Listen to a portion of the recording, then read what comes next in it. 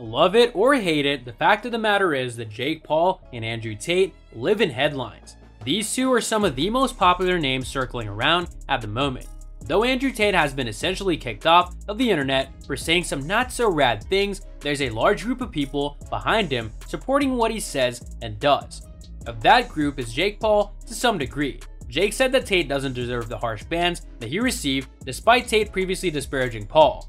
The two have recently come face to face in a stare down that was posted on the internet and of course blew up. Paul captioned this clip simply with the word negotiations. Andrew Tate compiled a 76-9 kickboxing record for himself and a less impressive 4-3 boxing record. Jake Paul is a 6-0 boxer, most recently silencing the doubters once again after he was about to defeat MMA legend and middleweight GOAT Anderson Silva. The masses said that he wouldn't dare to challenge the Spider, and now that he's defeated him, Paul is finally getting some credit. Just kidding, now fans are saying that he beat up a 47 year old. Who should be next for Jake Paul? A viable option for the problem child is one Andrew Tate. Here's how the MMA community has reacted to this. Sugar Sean O'Malley took to his YouTube page to share his thoughts. Andrew Tate, Jake Paul this morning. I'm sure you guys saw it. A little face off, came out of left field. It came out of left field. No idea, I didn't hear anything. I wonder, is that what's next for Jake, or was it for views? Clicks. It's gonna go viral, Sugar Sean's gonna make a YouTube video about it. Is that what's next? Risky fight I'd say for Jake. Sean O'Malley knows both Paul and Tate, so he did have a hard time sharing his feelings on this potential bout. However, he thinks that Paul would get the job done with a finish. He added, there's always a puncher's chance, Andrew's a big dude, experience. I would put money on Jake for sure.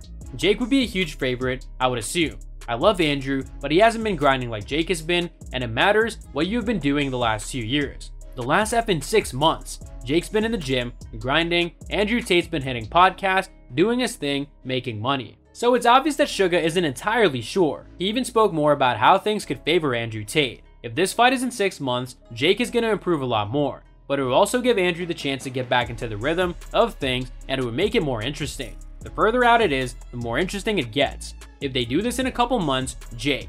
I would take Jake hands down. They do it in 4 months, I still take Jake. They do it in a year, then it's different. It's a little different ball game. Sean O'Malley was quick to give his thoughts, and you can bet that Uncle Chael is going to throw his opinion in the mix too. When you have Jake, he's telling us that he wants to be a boxer, but he's going to go and fight a former kickboxer. It's awesome, it's entertaining, it's exciting, but it's hard to serve that, hey, I want to be a boxer when he's going and doing this.